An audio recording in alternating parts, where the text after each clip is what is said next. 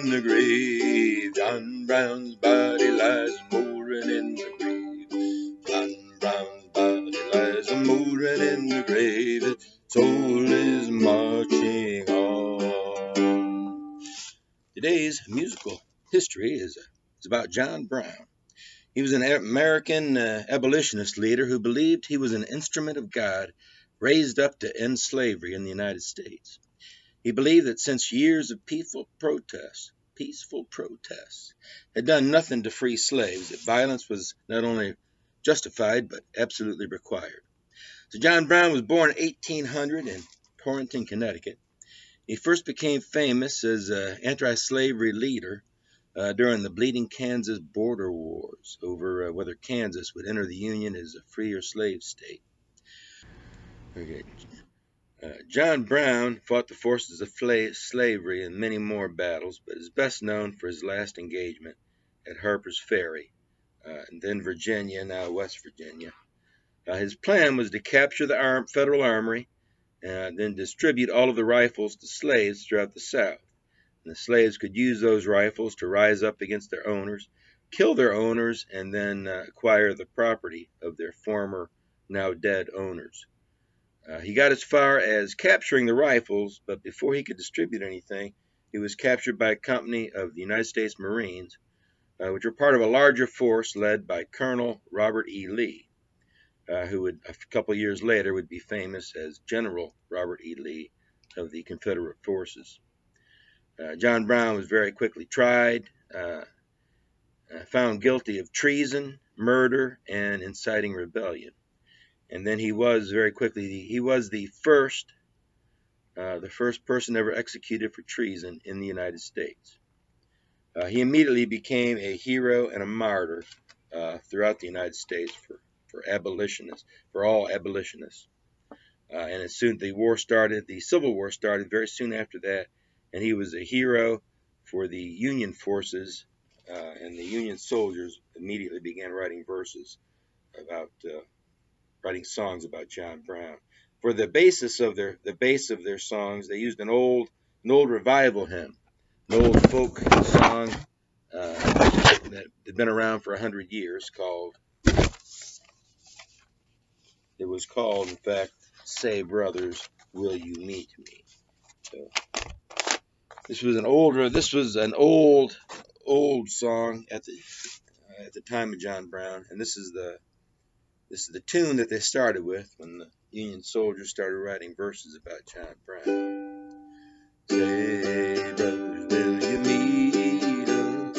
Say, brothers, will you meet us? Say, brothers, will you meet us on Canaan's happy shore?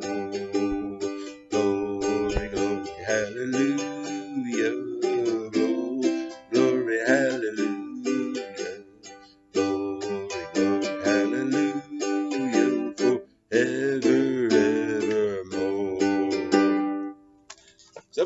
Folk song, and uh, Union soldiers began writing verses uh, using that tune.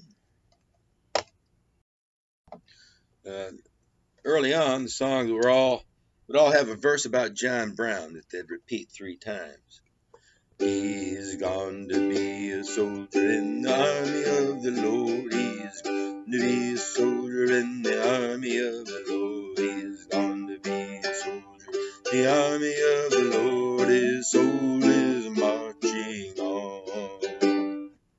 Then they would all, of course, end with the every verse would end with the, the chorus of glory, glory, hallelujah. Well, the songs about John Brown began very simple, just one line repeated three times. Uh, after a few months, uh, some people started getting a little more uh, inventive, and the the verses became a little more elaborate. Ended up with things like John Brown's body lies moldering in the grave, while the sons of bondage whom he ventured all to save.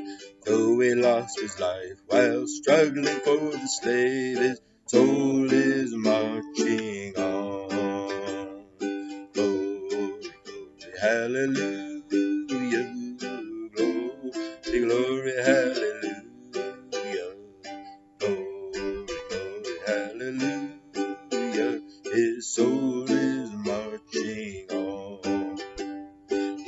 captured Harper's Ferry with his nineteen men so few, and frightened old Virginia till she trembled through and through. They hung him for a traitor, they themselves the traitor crew. His soul is marching on. Glory, glory, hallelujah,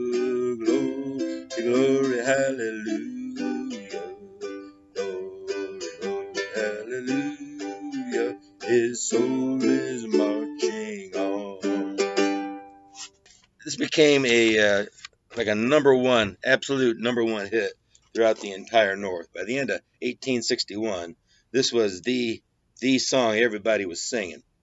Uh, there are a few people that thought, uh, you know, moldering in the grave maybe wasn't maybe wasn't the nicest verses to be singing, uh, you know, in polite society or at revival camps like they, they used to sing. The, the song this was based on was an old revival hymn that you'd sing in church. So moldering in the grave didn't, didn't sound quite as good. And plus, the song kind of focused on uh, on John Brown, John Brown freeing the slaves, uh, John Brown uh, being a hero, uh, and a few folks thought, well, maybe maybe the song should focus on the Lord.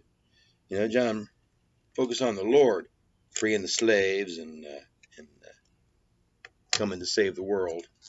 So, uh, an, an abolitionist uh, named Julia Ward Howe wrote a new version of the song that was a little more appropriate for church and uh, and also uh, focused a little more on the Lord, uh, freeing every freeing the slaves, and than John Brown freeing the slaves.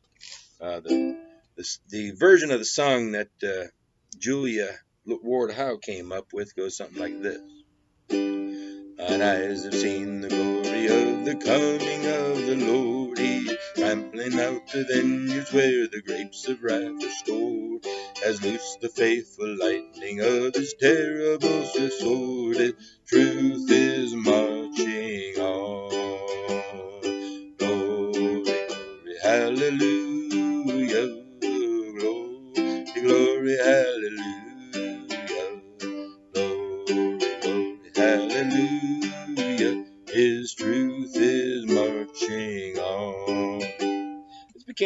popular version of the song and remains uh, the version that most of us uh, know today.